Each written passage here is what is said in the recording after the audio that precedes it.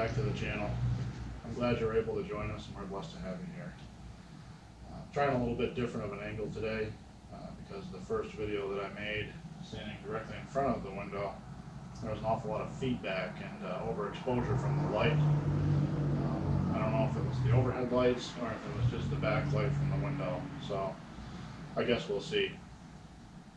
Today's video is uh, mainly going to be about the unboxing and hopefully the assembly of the smoker. Uh, just bought a smoker for, uh, for, for grilling, and actually is a charcoal grill smoker.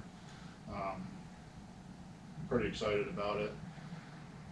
When we go outside, because we're right next to the road, what I'm gonna do is I'm just gonna video record and, uh, probably do the, do the captions like I had mentioned earlier, instead of, uh, going ahead and trying to talk through the video and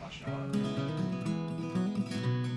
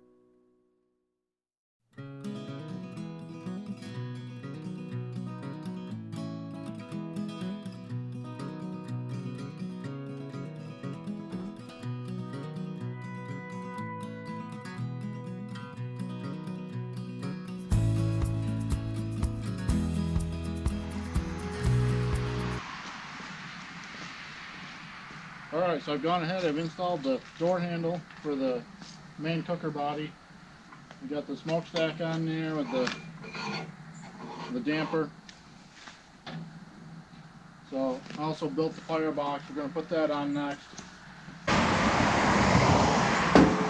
So the firebox sits right on just like this here.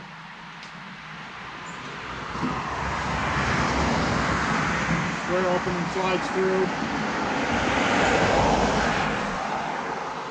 And then it's held on with four, four bolts.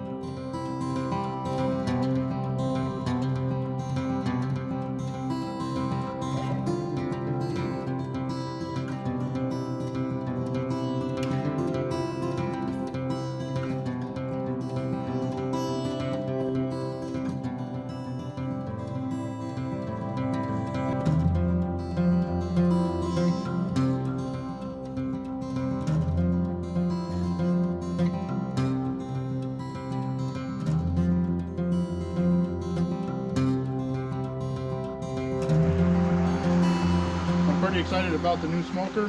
Tomorrow we're going to get it up and running. I got a brisket. I have a beef roast. And I got a whole chicken that we're going to cook. I'm probably going to have to take out a couple of the grates to get that done. But that's okay. I'm pretty excited about it anyway. Uh, We'll probably make a video of using it for the first time. I want to thank everybody for joining us for this, putting this together. Sorry about the road noise. I'm glad you're able to join us. We're blessed to have you here. And until we see each other again, everybody stay blessed.